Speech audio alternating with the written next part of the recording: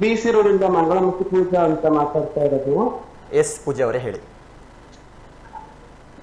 Hello? ಹೇಳಿ ಹೇಳಿ ಹೇಳಿ ಪೂಜಾ ಅವರೇ ಕೇಳಿಸ್ತಾ ಇದೆ. ದೀಪಕ್ ಅವರಿದ್ದಾರೆ. ಅದು ರಾಜಕೀಯ ಕಿರು ಸಂಘಟನೆಯವರು ತುಂಬಾ ಬಡ ಜನಗಳಿಗೆಲ್ಲ ಮನೆ ಕಟ್ಟಿದ್ದಾರೆ ಮೂವತ್ ಮೂರನೇ ಮೂವತ್ ಮೂರು ಮೂವತ್ನಾಲ್ಕನೇ ಮನೆ ನಿರ್ಮಾಣ ಮಾಡಿದ್ದಾರೆ. ಓಕೆ. ಕೋವಿಡ್ ಸತಿ ಫಸ್ಟ್ನೇ ಕೋವಿಡ್ ಬಂದಾಗ ತುಂಬಾ ಬಡವರಿಗೆಲ್ಲ ಕಿಟ್ ಎಲ್ಲ ವಿತರಣೆ ಮಾಡಿದ್ದಾರೆ.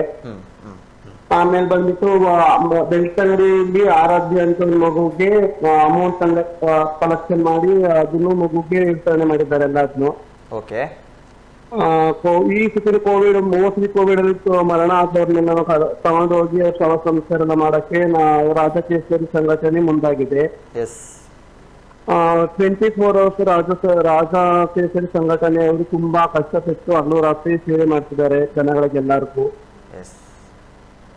ಹಾಗಾಗಿ ತುಂಬಾ ಅವರು ಹಗಲು ರಾತ್ರಿ ಕಷ್ಟ ಬಿಟ್ಟು ಈ ಸತಿ ದೀಪಕ್ ಅಣ್ಣವ್ರು ಬಂದ್ಬಿಟ್ಟು ಅವರು ಕೋವಿಡ್ ಇರೋರಿಗೆ ಎಲ್ಲರಿಗೂ ಅವ್ರ ಕಡೆ ಸ್ವಂತ ಓನ್ ಆಗಿ ಎಲ್ಲ ಕಾರೆಲ್ಲ ಅವ್ರದ್ರಲ್ಲೇ ಕೋವಿಡ್ ಇರೋರ್ನೆಲ್ಲ ಆಸ್ಪತ್ರೆ ಕರ್ಕೊಂಡು ಹೋಗೋದು ಆಕ್ಸಿಜನ್ ಅನುಕೂಲ ಮಾಡ್ಕೊಡೋದು ಎಲ್ಲ ಮಾಡ್ತಾ ಇದ್ದಾರೆ. ತುಂಬಾ ಖುಷಿ ಆಯ್ತು ನೋಡಿ ನಮಗೂ.